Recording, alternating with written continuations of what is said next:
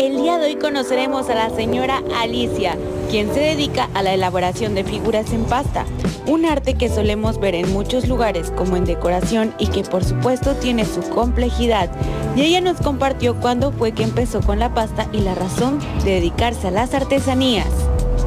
Tiene como ocho años, ¿sí? Lo empecé porque tenía que, que aumentar, aumentar mis gastos con mi hijo que entró a la universidad y de ahí empecé a trabajarla y me gustó. También nos compartió en qué se inspira para realizar sus figuras y por qué le gustó tanto realizar manualidades en pasta. Bueno, según la temporada. Ahorita estoy haciendo los huevitos de Pascua con la coneja y así sucesivamente cada 10 de mayo, y, Día del Amor y la Amistad, diciembre, los borreguitos, los graduados.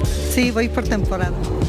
Con imágenes de Esteban Pérez, Samantha Martínez.